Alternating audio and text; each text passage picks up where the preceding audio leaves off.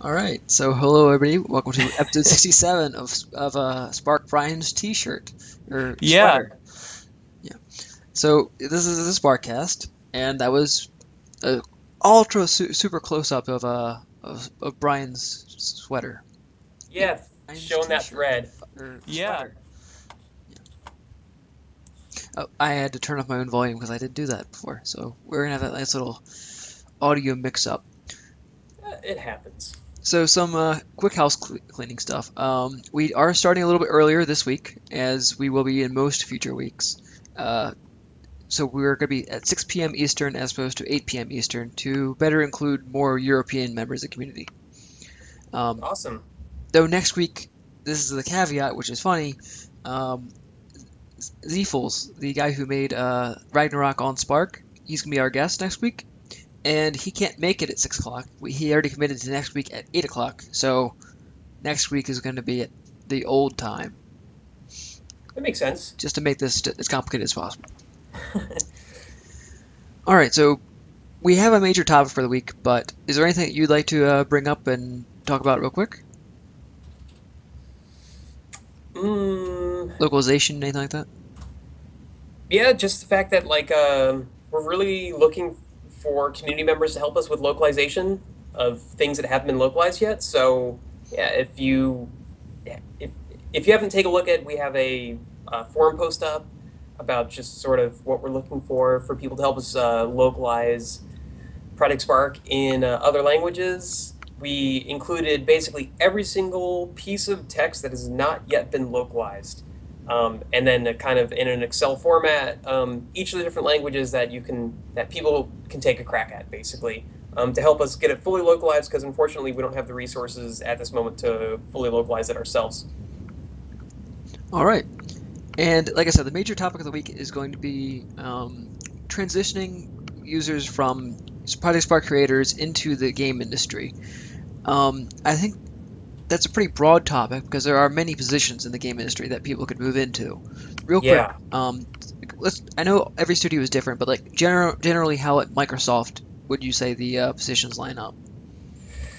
Um, positions can be generally segmented in four different, well, no, five different areas, and that's not including what Thomas and I do, which is commu- which is the community management side of things. But actual like getting into game development itself, kind of uh, five different areas.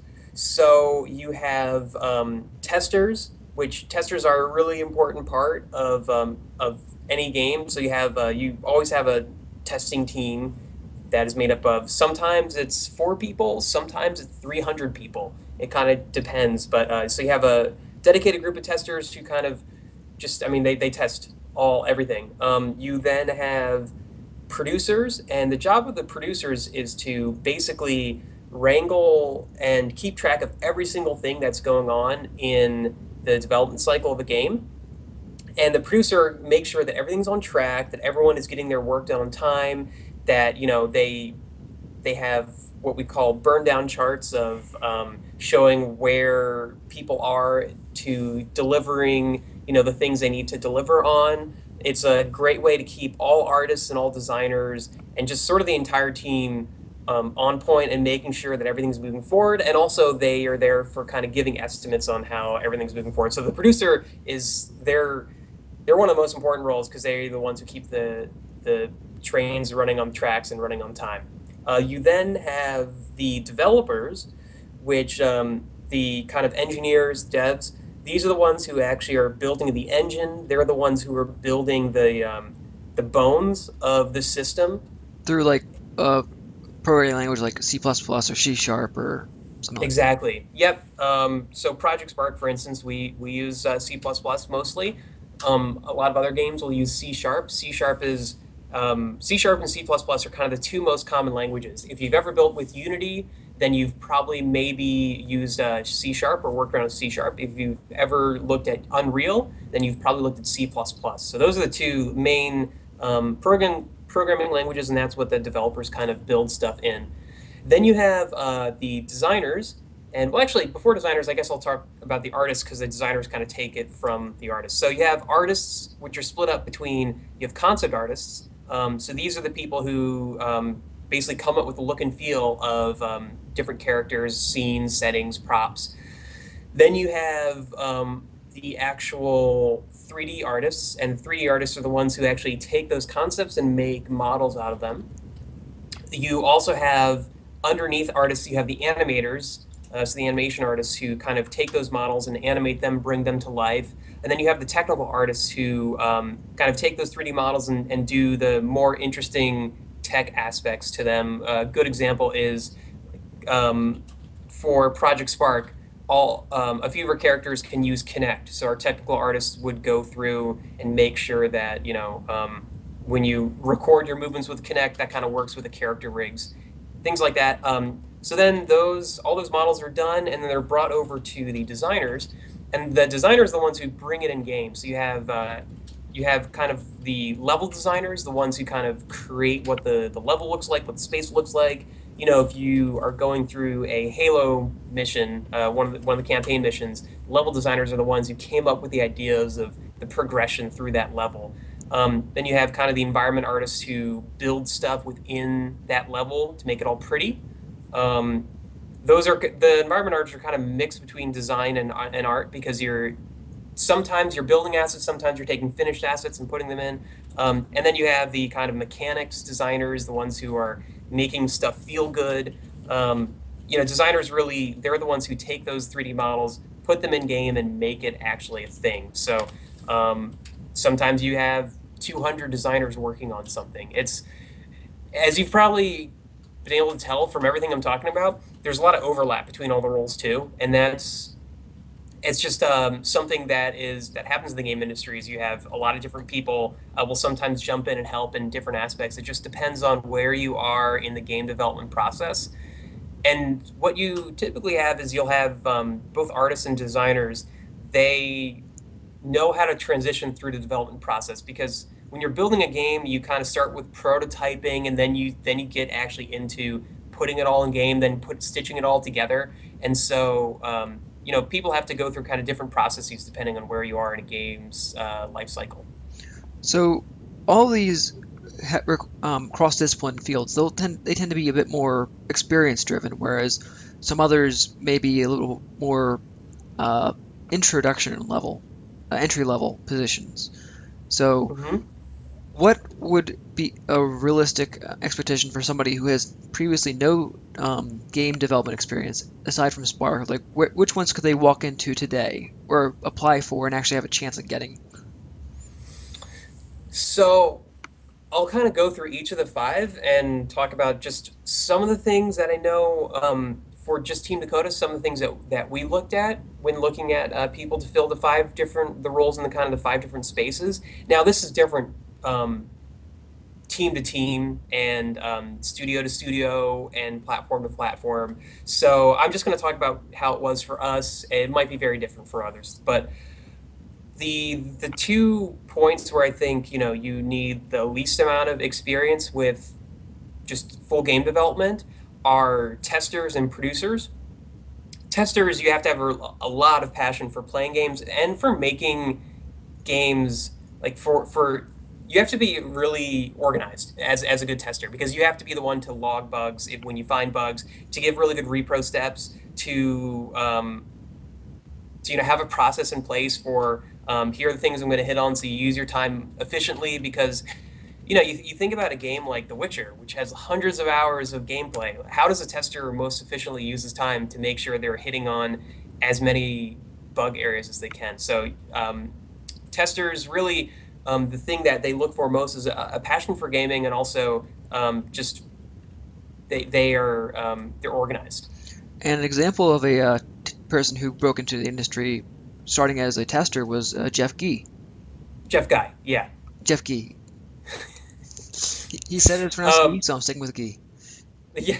So Je- Jeff Guy was uh, he was our um, services producer. Um, he started out as a tester. One of the few, one of the, the first few games I know he tested was Kameo, um, and he was actually started out on the test team on Project Spark, but actually moved up to a producer to see to oversee all of our services. And now actually he is over at Destiny working on um, working on stuff there that I don't think I can talk about. Well, But he, um, he has talked. Well, you can't talk about it, but he but he has been posting a lot about Destiny. So yeah, he work he works on Destiny on really cool stuff. Yeah.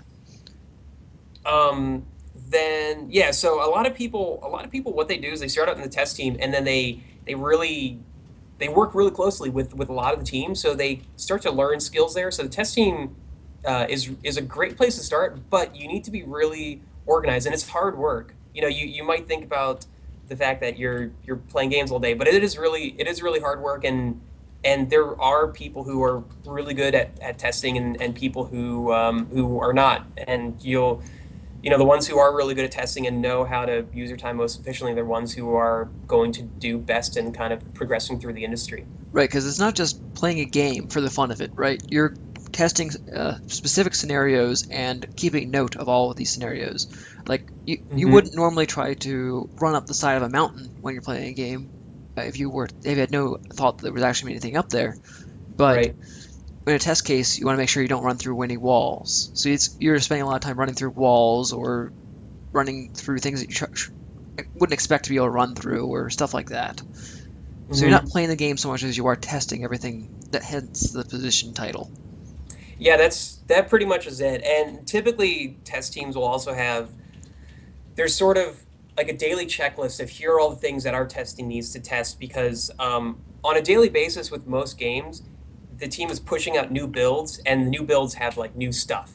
And so the test team every single day has to go through this checklist of, of stuff to make sure that you know there's no huge game breaking things that were introduced in the most recent build. So um, you'll typically with a test team the first kind of half your day is spent doing the exact same thing every single day. Um, so that's like something that you know you have to think about getting into um, that there's a lot of repetition but repetitions are really important All right, so moving on to the producer then, the uh, yeah entry level. So the producer, um, I would say, testers like the best is the best place to start in the game industry. Uh, producer though, you can get into the game industry as a producer without experience in the game industry um, before. They will be looking for people who have been program managers or people who've just manage teams or, or manage people's time. Um, just you know, t- a tester needs to be organized. A producer needs to be uh, incredibly organized because producers are basically the people on um, development teams who keep everybody organized. So their organization needs to continue out to everybody else to make sure that kind of everybody is on track. And you know, they're they're the ones who are really keeping the teams together and making sure things are moving forward. So they're looking for you know when uh, a studio is looking for a producer, uh, and the starting producer positions are called associate producers, and that's kind of a, another great place to get into the industry. Is uh, this associate producer role, and they're looking for people who are really organized and have shown uh, have shown ex- can show past experiences where they have kind of managed teams and, and kept uh, people on track, and you know they are type A personalities do the best in producer roles. And one of the other things I was told um, was, uh, for which, which, which of the producers the product market was, but they said they said you're not just a messenger as a producer. You have to come up with solutions for the problems as they arise, and not only that, but you tell the people and convince them that the solutions that have been come up with were even better than the original thing that came up before there was a problem. Right. Like a good a good example is um, say we had say we have a pack coming out, uh, a new content pack coming out, um, and the the team decides we need to ship this one week earlier, and so it's the role of the producer to look through kind of the whole the whole flow of things and figure out, all right, if we need to ship this a week earlier, here are the things that um, that basically should be cut. Here are the things that are kind of highest risk to keep in. So these are things, therefore, that we should cut. And the producer is really the one that makes all the decisions on how we actually get to that point. So producers' roles become really stressful as it gets close to a release on on a game because it's the producer's job to look at the flow of stuff and decide really what won't be able to make the final cut. And they're the ones who are they're the ones who are going to give those recommendations to the team of this isn't looking like it's going to make the cut. Uh, so you know I, I think we should we should take this out or sometimes you know I this really important thing isn't making cut. I think you know that that there should be a delay in releasing this. As those were the entry level positions, uh, reasonably that a person could get with only Project Spark experience and no game industry experience. Um, what would be required to transition into like one of the artist or designer or um, developer positions?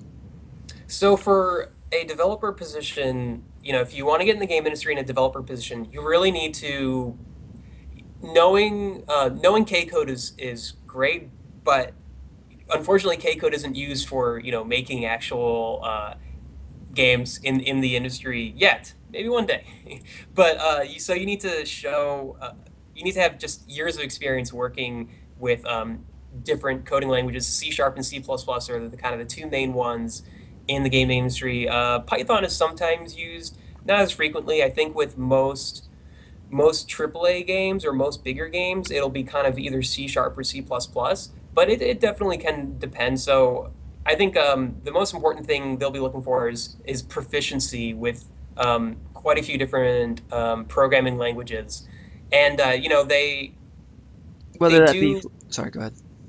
Well, they, they do look for um, you know this is a this is a space where it is good to have some um, like have you probably it's great to have a portfolio of just things that you've made. So um, you know if you say you do have five years of c++ experience but have only built stuff in project spark you can show you kind of your coding prowess and even make a portfolio for, for that. And it's portfolios aren't too uh, it's not too often that you'll see a developer who has a portfolio but uh, those are a definite plus i'd say. So you want to get uh, programming experience to be a, a, designer, whether it be through official schooling with a computer science degree or just self-taught, as long as you have the experience and have learned it and have used it consistently over a period of time. Yeah, typically the things that will be in the job requirements for developer roles is X many years of C++ coding experience and X many years of C sharp coding experience.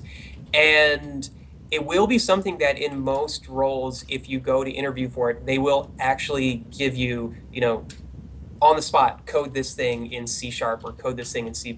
So they, they really are going to test your proficiency with that language. So it's not just something that you can say, oh, sure, yeah, I've, I've kind of off, on and off learned it for the past three years. So I sh- sure, sure thing I can say I have three years of experience because you'll find out it's, uh, you'll have a lot of problems if you ever get into the interview process. And what about someone who were to be making their own games? Would that be count as a industry experience? Like, let's say that not only did they use mm-hmm. Project Spark, but yeah. they also um, used Unity to code their own, you know, Master Blaster remake. Yeah, and this gets more into designers and artists are the ones who, um, above all else, they need portfolios when when they're going for roles in the gaming industry, and for them, it's much more important that they show things they've built in the past or games they've worked on in the past, even if it's whether it's a game in the industry or something they made themselves. So um, that's where you know just showing your experience working on other games. It's uh, it's nice, but not uh, crucial for developer positions. But it is pretty crucial for designer and artist positions where um, a portfolio is pretty much um, required for every role that you're applying for. So for that, that's an artist or designer. So uh, you need to show uh, in form of videos or screenshots things that you have actually built. If you don't have any portfolio of things you've actually built, then um, you're going to have a really uh, pretty much impossible time of, of getting into the industry. So if you if you know someone ever wants to go for the artist route or, or the designer route, that's where um, so that's where they they really look for for both of those having experience and knowledge of um, standard development tools uh, you know things like maya 3ds max knowledge of those um, knowledge of game engines like unity or unreal or other game engines um, and you know proficiency with those because you might jump between a lot of different software uh, in whatever role. So they're going to be looking at probably X many years of experience in these software tools, and then also a portfolio of things that um, that you've built in the past. And sometimes, especially so for artist positions, um, then a, a, lot of times when you're applying for a role, they'll give you an art test, and um, the art test is usually you know it can be anything, but it's you know build this model for us in a week, or uh, build an environment that looks like this for us in a week, or you know do this thing. Basically, the art test is build this art piece for us to show um, how you can take our ideas and make things. Um, that's a really important part of the artist role. For designer roles, a lot of times they you might have in the, in the industry designer test where they will uh, tell you build this kind of quest in whatever game engine you want to, or, or, build this concept, or you know, here's a concept, build it out for us, um, or write it out for us. That's less likely or less often than uh, the art tests, but it sometimes can happen too. So, if somebody said, "I'm really good at like taking established objects that would have been made by other people, and then placing them into a 3D environment to make them look really pleasant and high quality," Um, is is that enough, or do they actually have to make be able to make the assets all the time in order to get any position in the industry? If you're applying for an art role, you pretty much have to make the assets. Concept artists, though, you know they don't. You need to be a really good painter and drawer to be a good concept artist. Um, but if you are going to be an artist that works with 3D art assets, then it's kind of a expectation that you know how to make 3D assets from scratch. So you can't just say, I have an amazing level in Spark that shows how amazing stuff I can make. That's not going to be enough to say, yes, well, you can come work on our game. Probably not. That is definitely, uh, it's definitely a plus to have it in your portfolio. A really beautiful looking level, say in Project Spark.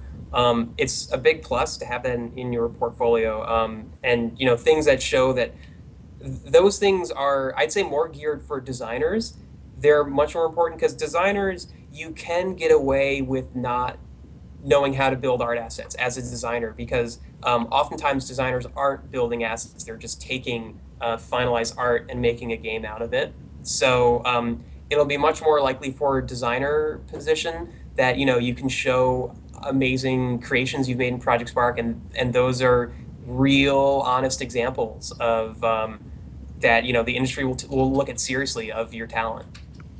So what else would you need in addition to a Project Spark level to get a job as a designer? Like I like I was saying before, I think you um, need to have some. You need to have some experience of just um, you know a proficiency in other game engines. Oh, I thought that was developer. Sorry, um, I mean, no, de- developer. Developer, you just need basically proficiency in programming languages. Gotcha. As a designer, you need proficiency in um, other game development platforms. Um, so you know, it, it could be um, the CryEngine, it could be Unreal, it could be Unity, it could be uh, you know, there's there's plenty of other engines out there, but just showing, I think, uh, what usually helps is kind of showing that you have expertise in more than one, also because. Uh, ga- just different games have you know you'll build things in different environments. So showing that you've been able to tackle more than one game development platform um, shows that you can kind of adapt to whatever is needed. And it seems like all these kind of bleed into one, each, one another to some extent, aside from mm-hmm. like concept art. Um, though that might overlap a bit with the actual uh, prop design. But does it uh, benefit somebody to be able to go after all of these to some extent, or do they have to be actually an expert in one of these fields? Could you be a, a mm. jack of all trades and a, but a master of none? If I would say, if you want to be a jack of all trades and a master of none, you actually you might have a better time looking at smaller studios and um, look at setting out your own path. I, if if you want to go to say like a AAA studio, that's where you have when you have teams of 700 people, then you need people to fit specific roles. And so that's where I think you'll find that if you really want to go into AAA game development, you need to be an expert in one certain thing. Um, and then once you're an expert in that one certain thing, then you know you'll have a better and better time of, of um, being hired for those bigger and bigger roles. But if you want to be the jack of all trades, the doer of all things, then um, look at smaller game development studios, you know, teams of 12 or so, um, or just start tinkering on your own. It's it's so easy nowadays with most game engines being free for you to just tinker and see what what comes of it. So, I thought it might be seem a little odd that we're talking about this instead of direct, direct, directly talking about what is in going on in Project Spark or other UGC. But going on from Project Spark to these professional either industry positions or working on your own in Unity or Unreal or what have you is actually something that's worthwhile for Project Spark for you guys. hmm Yeah, I, I mean, so you know, we see, I, we've seen um, some of our core creators have been able to take their knowledge, things they learned from Project Spark, and apply that to full development uh, software like Unity or Unreal, and that's a huge win for us. I mean, that's like that's awesome. That shows that we did we did instill something in you. We, we taught you something that um, you'll be able to really use in your life, and you know you hopefully got inspired to to make games through um, having the the more easy you in approach that Project Spark has. Um, because I think without Project Spark as, as a primer, if you don't know where to start, if you open up something like an advanced software piece like uh, like Unreal Engine, you're going to be really really intimidated because you're it's a completely blank canvas. It's not just in Project Spark you start at an empty world, start from scratch, and you already have a character, you already have a world, you already have a uh, easy access programming language, and you have thousands of assets you can use. When you start with something like Unity, you start with a test dummy and um, a ability to run. And then you have to program everything else yourself and create every other asset yourself. Or find it somewhere on the internet that allows you to either buy it or just take it for free. The unity yeah, store does that true. for stuff but that's true. not Mhm. too much. Not relative but i'm not sure actually i would be talking about my uh, ear if i was talking about how much free stuff was available to unity because i'm not aware relative to how much was available in project spark well this so it's it's kind of different. Um, unity you you're not going to find too much free stuff because you'll have a lot of people U- unity's a real game development like a really full game development platform where uh, you make money off your um, off your creations. And so uh, a lot of you'll have a lot of people creating props or assets that you can purchase. So that so you won't find many free ones but you'll find a lot of people who've made a lot of things that you can purchase um, to use I, I would say though um, kind of going back into like say you have been playing around with project spark for the past year and you're like what like you know what what else is out there? Like what how will how will i do if i try and approach something like a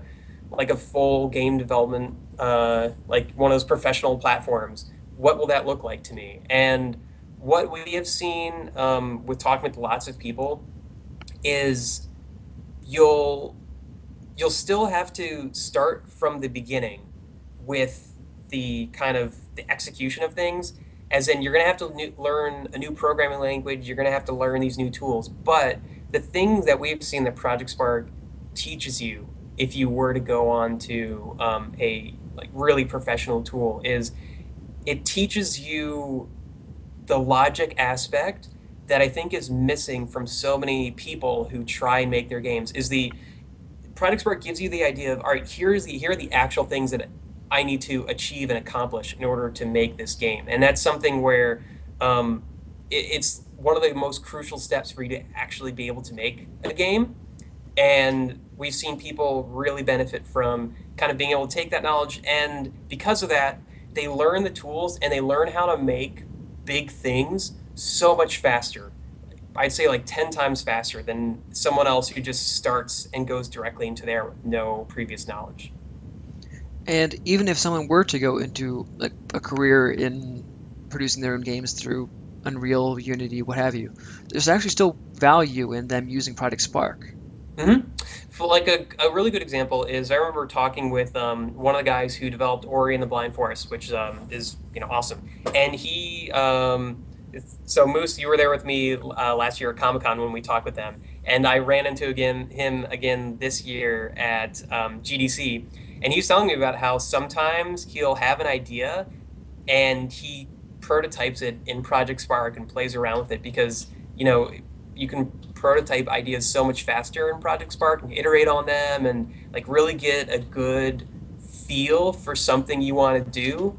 Um, and we've seen a lot of professional developers, designers use Project Spark in that way, even even when they move on to other things. And so that's like that's that's awesome that like they they see you know you have a really professional design designer and they see that our tool is much easier for them to use to come up with their ideas. Right, because it already has the established uh, physics engine. It has the lighting. It has, you know, uh, a lot of the assets, and the code has a lot of shortcuts because the tactile. That would be like a few hundred lines of code, or you know, at least a, more than one one uh, word. So they get to cut to the chase of sorts and see would this be fun to use? Is this a fun concept?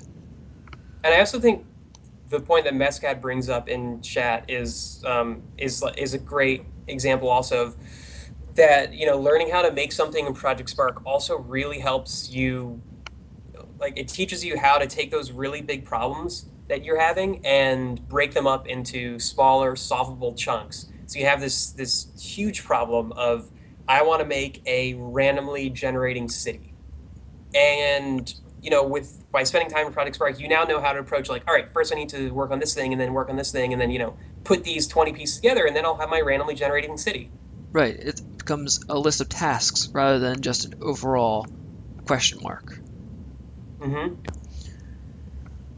Oh, there was one thing I wanted to ask um, before we uh, branched away from the p- professions of the industry, but I guess out of order is better than not asking it at all. Oh yeah, totally. Um, so there were positions, obviously the lead positions like programmer, design lead, test lead, etc. That those are like the straight up professions uh, progressions of this of those uh, career fields. Mm-hmm. But what about something like a creative director? How would somebody just write the lore of a game or write the text uh, that goes along inside of Champion's Quest? Like, how does somebody get there? So I think you get there by by wearing a lot of hats in in games. So by being kind of the visionary behind a game, you have to have great writing, um, you have to have a good deal of experience and you have to find the kind of the right opportunities for you to grow into that role so um, our creative director for most of spark's lifetime was henry Sterchi, who he's now over working on minecraft and he um, he kind of got his start in the industry actually writing um, reviews of games like as as a as a really young professional. And you know he was the things he was writing about games were so spot on that people that people started to take notice and that's how he got into the industry. And you know he kind of evolved from there and, and went from one role to the next role and you know is now in a creative director position on um, a lot of different games here at microsoft so would be would uh, simply being a good writer be able to let you transition into being a creative director like say you wrote your own novels or your own concepts for what video games could be, like the storylines and backstories and setting up the you know the characters? It definitely helps. I mean, I would say probably the the thing that helps you get into a creative director role the most is being the one who you're in you're in a studio and you're the one who says this is what we need to do for our next game here's the lore so you're you're the one who basically pitches the idea for the next the next game that your studio makes. That is kind of the way that you evolve into the creative directors. You're the one who's coming up with the like the full ideas for here's what we need to do next. Well, that sounds easy. They'll hire me the next time, right? Typically, you need you know you need you need to be in a studio for for a while. You need to build your your credibility and your reliability, and you need to kind of um, I mean, a lot of times it's it's luck and good timing of just being in that position to be the one to chart chart the way forward for the next thing that your studio makes. uh, it just shocks me that no creative director has come forth with the idea of cats and bacon, the game, because everybody loves both those things on the internet. Uh, that's true. I, you know, you probably might find Cats and Bacon on the App Store somewhere. I wouldn't be surprised if someone made Cats and Bacon the game somewhere. It just never rose to popularity, unfortunately. It just clearly didn't have uh, enough marketing, I guess, or maybe it was on a platform like the Xbox One and uh, Windows 8. All right, so do you have any uh, final thoughts as far as like what you would like to suggest to uh, Spark users who were interested in pursuing, if going or transitioning from uh, Project Spark with, their new experiences there towards a full career? Um, I I would say if you feel if you're really interested in making your own games, like your own professional full games, and you're intimidated about where to start, if you have an idea for a game, the best thing to do is start by building it in Project Spark. And go through the hurdles there and you know use that to understand how to make your game. And then you're going to answer all the toughest questions about about your game. You weren't you're not going to feel as intimidated at that point. And then you can look at, you know, one of the other one of the other engines. I mean, I am very comfortable by recommending to everybody who's an aspiring game uh, developer to download other development platforms. Download something like Unity or Unreal, which are both free, um, and just play around with them. You know, they may seem intimidating at first, but you start to get more and more used to them. There's great, you know, they have great tutorials out there that'll kind of help you help you get more and more used to them. And you're gonna, you know, the intimidating things. Um, a lot of those you'll have solutions for them by prototyping out stuff in, in Project Spark. And really, the biggest hurdle, honestly, I say anyone runs into when they move to professional tool is assets, props, people, things that are moving in your world. That's probably the, the most daunting thing. So that is the one thing that um, I think I don't think anyone out there has has solved that for like for full professional development tools. I think like that's that's why Project Spark feels so great because you have all of these assets you can already use. But if you're moving on to something like you know some full development kit, you have no assets to use. So you're either going to have to make your own or um, or purchase some. So uh, that is up to you what route you want to go. But and for uh, those who thought that like five dollars for an owl was expensive, wait until you see how much they're charging for one character that's made out of 8-bit pixels. Yes. Like fifteen dollars yeah. or so. Yeah, I remember seeing just one zombie character with uh, three walking animations was seventy five dollars. Um, in uh, I think it was I think it was Unity, uh, and that's that's kind of standard because you know it's it was um, high quality and it did those animations took, well. It took a lot of time to make them, and time mm-hmm. is money, so they want to be compensated for their effort. Yeah, Swift, Swift Arrow CZ, um, his his point is very valid. It, it learning to make games to be able to work in the industry. You know, if you go the traditional route, it takes about it takes about five years. Um, so Spark you, has only been in beta since uh, right. two years. So so, but that's if you want to if you want to land a, a substantial job in the industry. You know, that's what that's how long it takes. So consider, you know, you, if you really want to take this seriously, you will have to um, invest the time in it. And it's um, honestly, it's not it's not an easy path. Um, the the game industry is a really it's a really hard industry to get into. Uh, really, really hard to get into, and it's uh, you work really hard on things as well. But the payoff at the end, um, I have you know I have a few friends. Um, I now I have quite a few friends in the industry, but I have a few friends who worked on Halo Five, um, and I saw them last night, and you know for them the amount of pride they felt that you know Halo Five has shipped, it's out there in millions and millions of people's hands. They're all playing it. They're enjoying the thing that I built in there. It's um, that's you know one of the most. That's the reward that it was. All worth it. All that learning and all that um, and all that time working on the game is is worth it. It's one of the most one of the most uh, you know one of the happiest things uh, is when you when you get to ship something and you see everyone everyone loving it. Yeah, uh, you know they say uh, do what you love and you'll never work a day in your life because nobody's hiring. No, um, but if this is what you want to do, it's going to take work because there's a lot of other people out there who want to do the same thing and they're also willing to do the work. So, and not only that, but game development is a cross-discipline.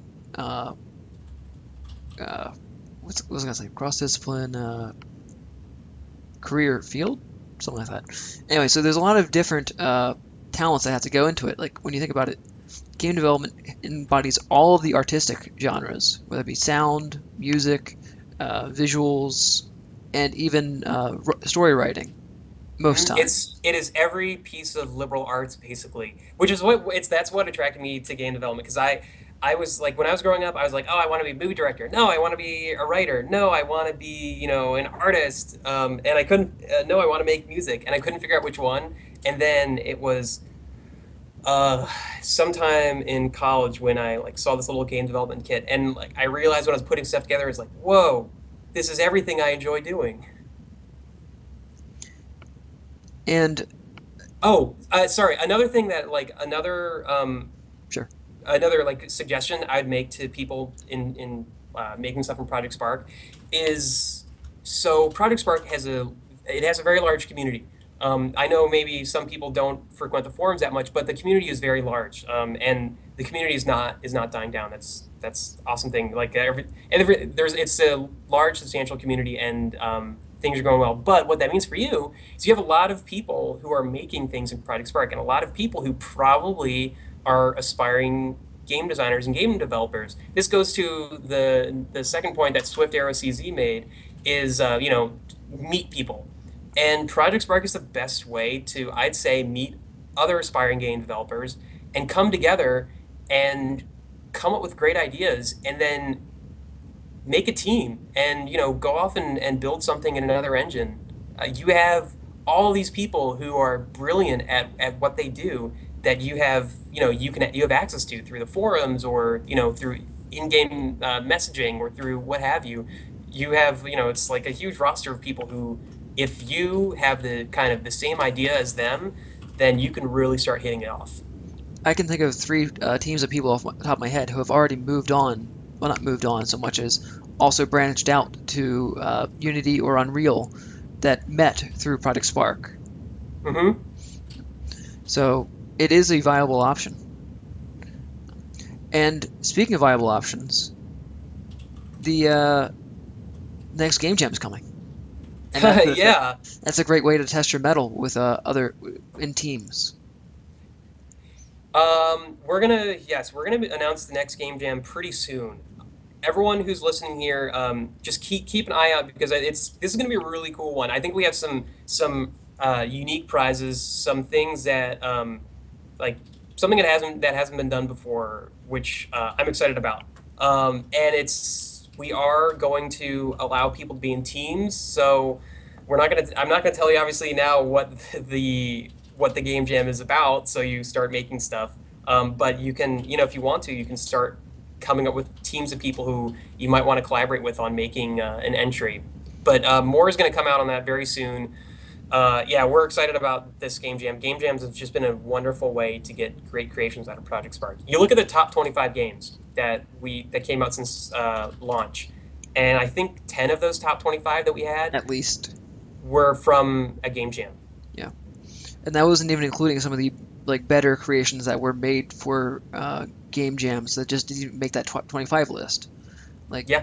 the second community, the second game jam, the one that that org ran, it was like overflowing with amazing things. Like Beeb and Bob only made your honorable mentions list, and I thought that could have been easily a top 10. It was really good, but there was lots of competition. And uh, Swift made another point. Uh, your first few team projects will likely fail, and failure is not a bad thing, especially It's when you're first learning. thing. It's honestly um, just you know having having talked in the game industry with lots of people. It's it's one of the most important things when you're interviewing for a position is actually knowing failure is like is a wonderful thing. It's something that can't be taught. So um, failing is actually you're going to feel bad about yourself because your your wonderful idea failed, but it is it is so much better for you in the long run. Um, you just learn so much from it. You you know you grow from failure. So uh, yes, probably the first few game projects you work on might be failures, but that's a good that's a good thing in the long run. Right, because if you're working on a game and you take too long, you try to cram every little detail into it without prioritization, and you end up with a game that's non-functional but has really nice a- uh, um, aspects to it.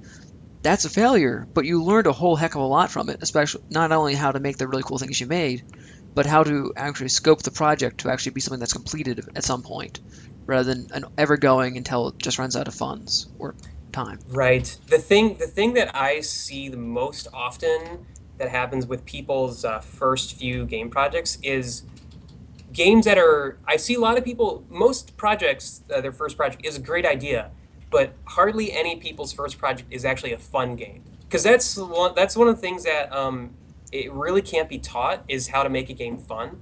Um, so you know that's that's just something to keep in mind if, if you do want to branch out on your own is the fun aspect is the most important part of your game. If it doesn't matter how good the story is, how innovative it is, if it's not actually fun, no one is going to like the game. They'll play it for a few seconds, well, a few minutes, maybe a few if you're lucky, a few hours, and then decide I don't want to do this anymore.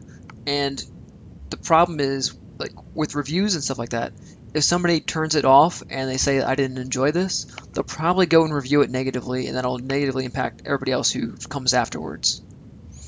Mm-hmm. Oh, fun thing about uh, um, reviews also, if you're plan on doing uh, your game on t- putting the game onto Steam and you use the Steam Greenlight, um, not Steam Greenlight, uh, early access, the reviews from early access never go away. So if your game is buggy when you go into early access and people yep. downvote it because it's upvote and downvote on there, and we know how we feel about that. Um, those downvotes will never go away. So even if your game comes out amazing after it's released, it'll still be at best a mixed or slightly positive as opposed to overwhelmingly positive, which is what's needed to actually get sorted by preference and see a lot of people see a lot more people um, that could be potential players.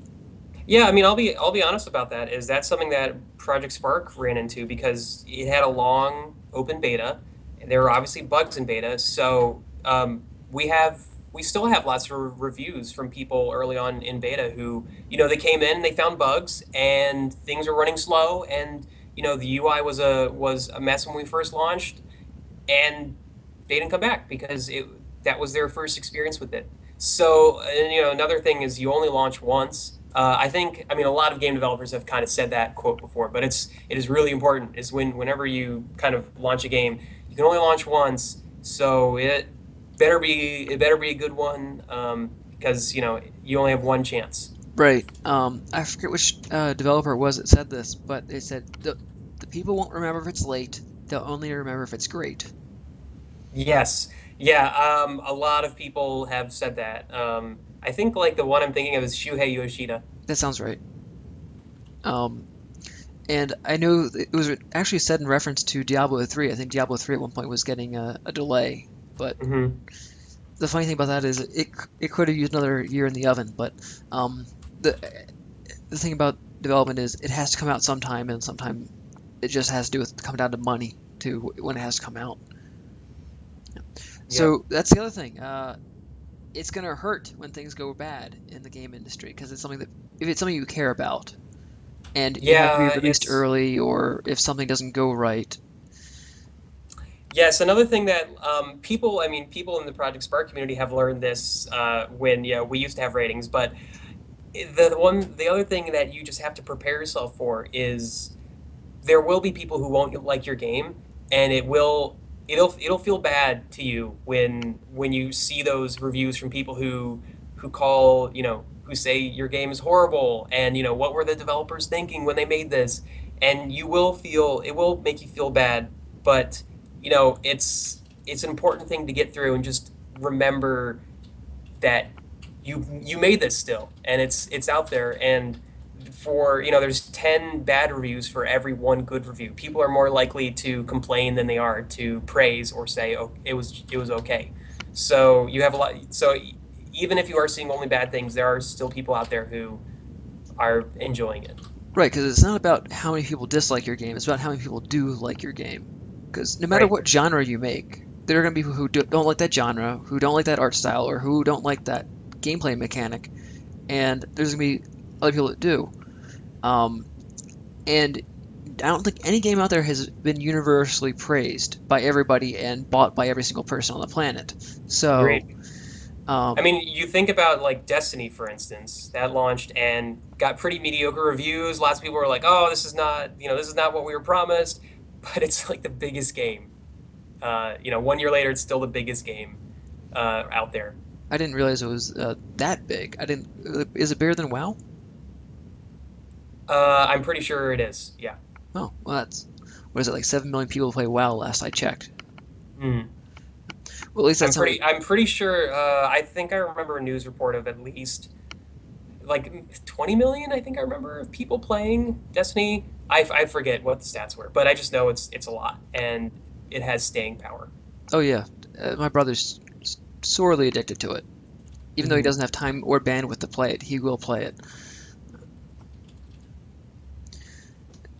Yep. All right, so I think we have exhausted that topic. Though we can probably always come back to it later if anybody has any questions. Uh, I'd be happy to pass along to Brian, and then he can uh, get give it his best go.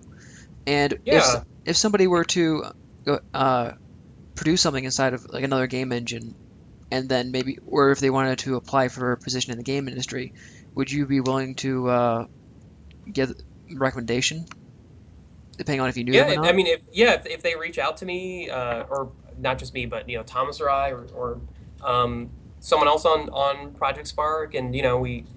We, we're not going to give a recommendation to somebody just because they have built something in Spark. We want to kind of know who the person is, but um, we're you know we're more than happy if, if it's a if it's a great creator to give our recommendation that they have built great things in Spark, and you know we think they can use that to continue to build great things in the entire game industry.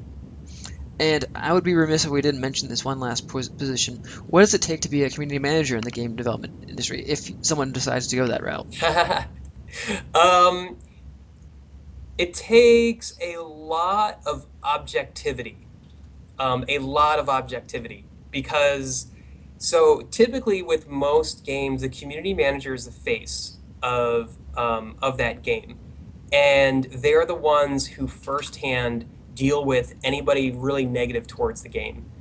And so if um, I'd say the community manager has one of the kind of the hardest esteem roles, I'd say, not obviously the hardest working roles because you know you have developers and designers who are working 18 hour days to get things done on time, but they have the um, the the roles that take the the greatest amount of, of esteem and objectivity because even when things look the worst, they have to remain cool, calm, objective, and like really understand the problems that the community is facing. So um, I think when when uh, you know we're looking for someone to be on the community management team in the game industry, we're looking for somebody who has a very good character that can deal with with all of that.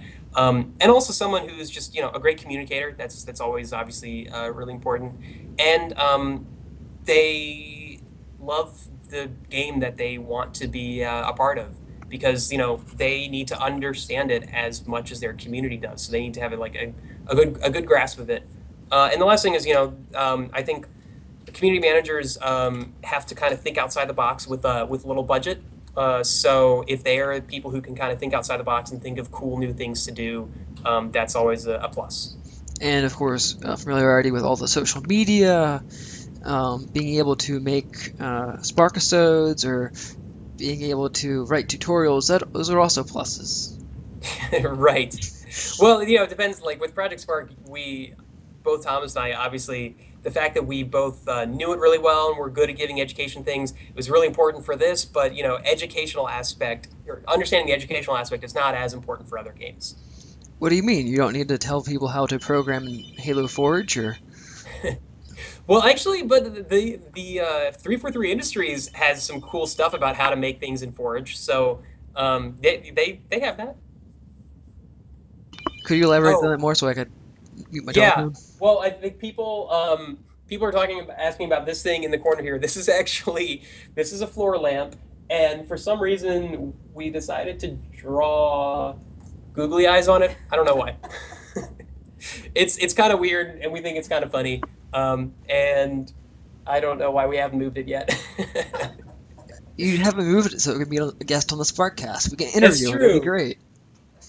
yeah. So it's it's not a tower of ghosts. It is one floor lamp that looks like a ghost. Oh, so I uh, missed that uh, question from Mescad because I didn't understand it at the time because we were talking about Destiny. Like, was he a reference to ghosts? Because ghosts are like also an um, element inside of Destiny where there are little droids that follow you around.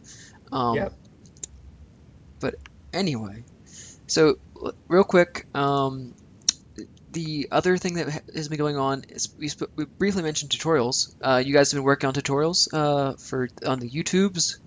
Yeah, we just pushed out something about sine waves yesterday. Probably something not many people knew about. Um, what we so that in the tutorial, what we show is not technically a sine wave, but it's the Project Sparkified version of a sine wave because you don't have to. Sine waves have kind of it's a complex uh, formula to get a sine wave, and you can you only need to use like two of those pieces of info to make to make a sine wave in Spark. But still, it's really cool. I that's like that's one I'm, I'm most proud of. Is um, most recently is the tutorial on sine waves. So why would somebody want to make a sine wave? Is that like the the live long and prosper sign, and then you wave with somebody with it? Um, no, it's it's uh, it's basically um, giving you like smooth movement. Um, it's like it just using sine waves for anything that's moving or turning or rolling or pitching or, or yawing um, or orbiting uh, just makes things look so much better. So it's a smooth transition, basically, of sorts. Yeah. Okay. And you guys are doing a lot more of those tutorials.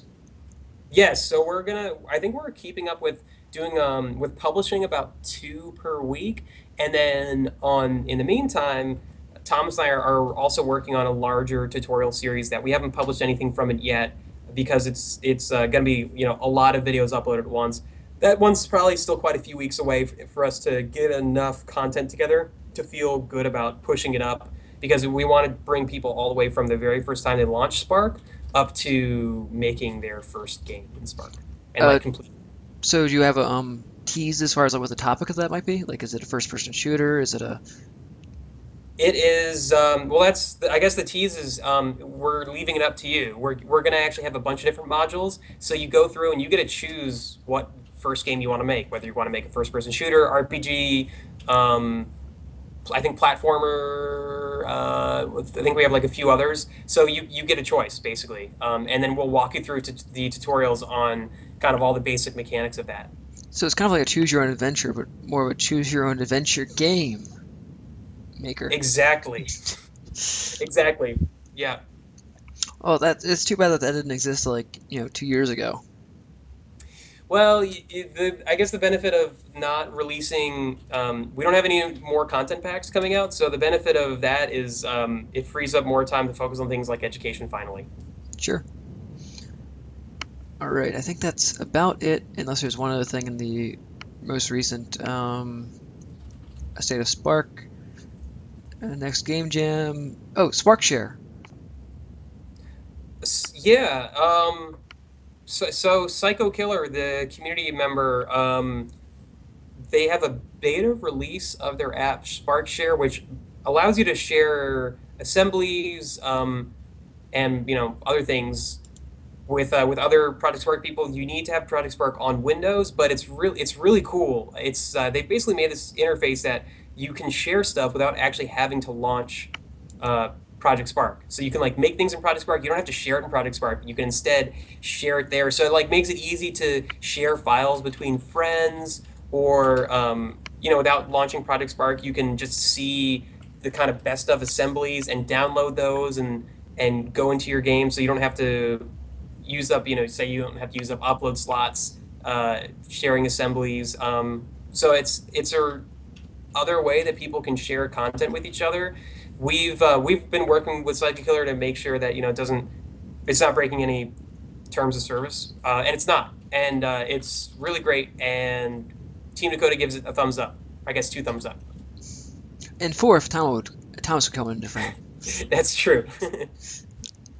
All right, so thanks again everybody for watching. Uh, thanks Tom, uh, Brian for joining us and giving us his insights into the game industry. Um, we will be back next week at 8 p.m. Eastern, shifting back to the old time so we can uh, accommodate uh, to be on as a guest. Yeah. And then presumably all weeks after that would be back to um, uh, 6 p.m. Eastern each week. Um, and if anybody would like to be on the Sparkcast in the future, uh, any week other than next week, um, feel free to drop myself or Brian or Thomas a line, and then we can figure it out. And I will get to one question that's kind of code based. Um, I'm wondering if you want your character to kill as many enemies as possible, which sensor would you use? I would actually look at um, a look at all enemies that are within a distance of one meter of me, and those are the ones that I damage. That's what I do. So I look at something things within one meter of me or however many meters of me. So I would not use a sensor, I'd use distance and look at everything within that distance. So yeah, what I was thinking was maybe he meant by sensor by meant he wanted to count how many enemies that character had killed. So how many? How would you keep track of how many enemies that character had killed? Oh, if you want to do that, then uh, what you want to do is have a global number variable called enemies killed, and every time uh, you put this inside of each enemy that uh, just win uh, w- once win is dead, or it's like win once is dead, uh, do this number variable called enemies killed increment by one. And that means like every time that enemy dies, it increases that number variable by one, and then you can collect all that to know how many enemies you killed. Good deal. And the final thing, uh, the final notes, Mescad mentioned his daylight savings time ends on uh, this Saturday, I believe or Sunday. Oh yes, for us U.S. citizens, that's right. It's different in other countries. So we will be losing it. Oh no, gaining an hour of sleep. That's right. Repeating an hour, and also this Saturday is uh, Halloween. So happy Halloween, everybody. That's right. Yes. And we're gonna go ahead and end the stream here. Everybody have a happy Halloween. Be safe. Have fun. And live long and prosper. And live long and prosper. Yes. All. Bye.